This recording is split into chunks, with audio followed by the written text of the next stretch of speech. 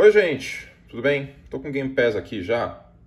É, fazer um vídeo muito rápido sobre como o quarterback não pode telegrafar o passe.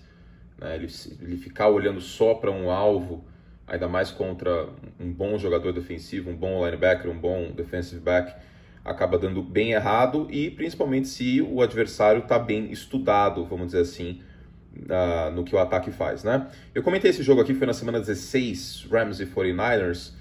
E o Jared Goff acaba telegrafando o passe, é uma interceptação do Fred Warner e é um passe aqui no flat, no lado de cima da tela. E vocês vão ver como ele só olha para o lado direito aqui, o Fred Warner acaba cortando a linha de passe. Vamos lá. Sai em shotgun.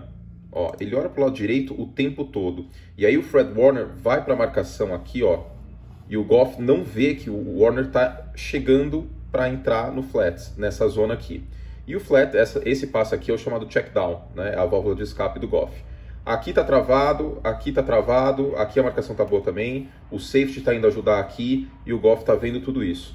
Então ele vai o quê? Com a válvula de escape. E o Fred Warner consegue a interceptação.